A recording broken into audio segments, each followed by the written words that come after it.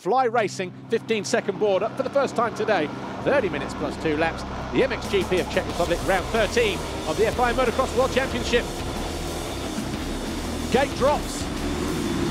Keeping my eye on Febvre and everybody else to the inside, and Febvre may get a good run, but he's just going to get pushed too wide there as it's a Yamaha. I think it was Seewer with a Fox Holeshot. If that's the case, it's his second one of the season, but he's been passed already.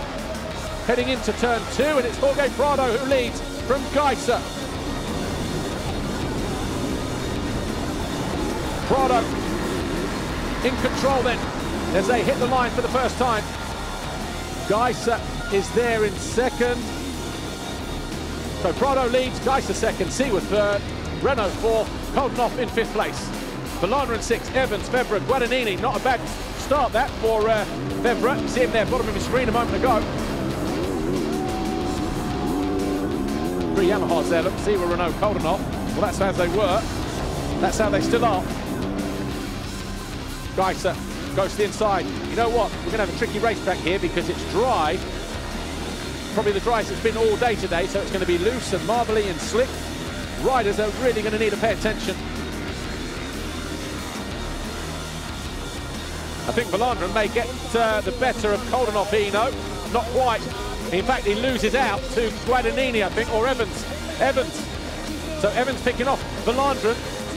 And he almost gets undone there by the number three of Romain Febvre as well.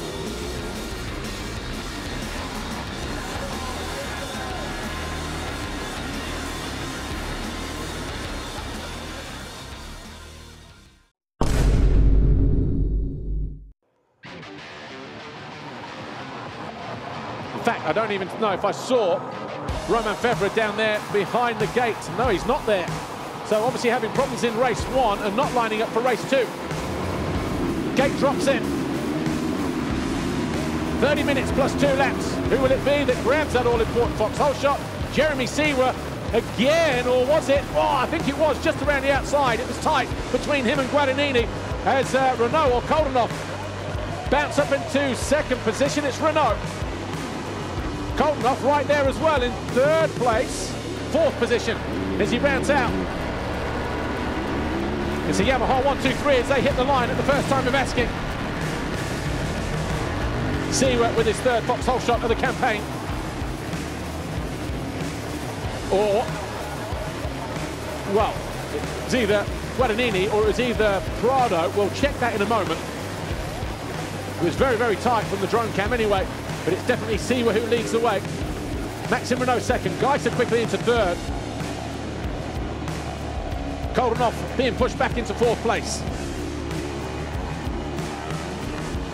So Tim Gajser exactly where he wants to be if he is going to challenge for the top step of the podium. But uh, Jeremy Seewer, who was masterful in race one. Gajser there in third position. Now he has Seewer right there. Seewer just looks so comfortable on these uh, conditions though.